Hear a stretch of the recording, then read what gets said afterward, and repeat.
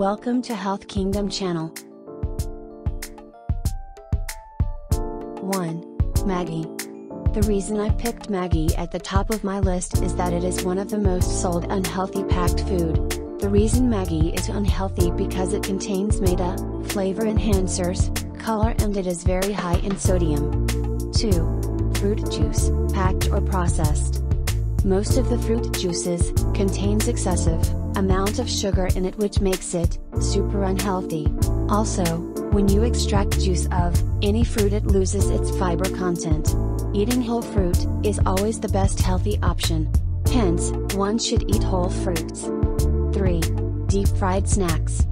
Major nutrient your body gets from deep fried snacks such as samosa or pakoda is unhealthy fat.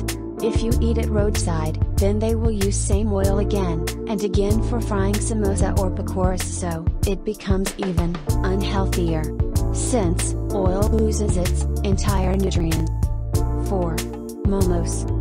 Even though, momos are not fried, or sauteed it is not healthy. Because, it's made of, refined flour. But if it would have been made with whole wheat flour, it could have been still very healthy. Maida is nothing but empty calories. It is made by stripping all the good things away from the whole wheat. 5. Biscuits. Biscuits are nothing but maida and sugar. It is just empty calories.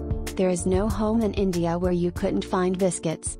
So, knowingly or unknowingly, we eat sugar every day in the form of biscuits. You can replace biscuits with roti or paratha.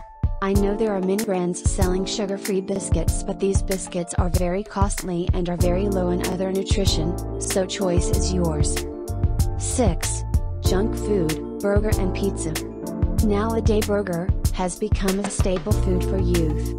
The reason it is unhealthy is that not only burger bun is made up of maida, the chicken patty and it is deep fried, plus it contains cheese, mayo and lots of sodium. Also, pizza is a big brother of burger.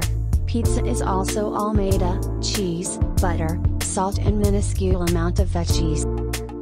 Thank you for watching this video, please like, share and subscribe, for getting more health tips.